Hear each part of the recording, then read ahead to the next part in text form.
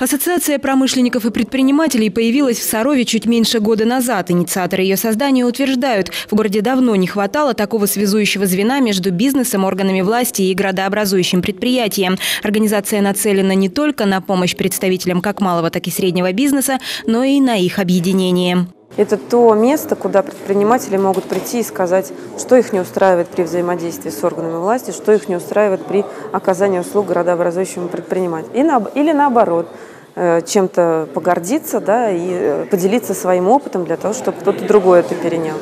На очередном собрании ассоциации выступил глава города Александр Тихонов. Он рассказал, какую роль играет Саров в обсуждаемой стратегии Нижегородской области и какие предложения в этот документ были направлены от нашего города.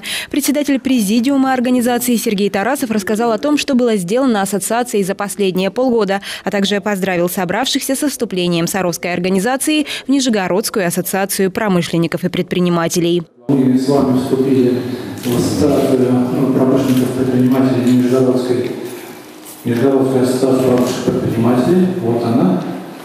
Да, нам получили удостоверение, поэтому мы сегодня полноправные члены ассоциации значит, промышленных предпринимателей э, Нижегородской нашей губернии.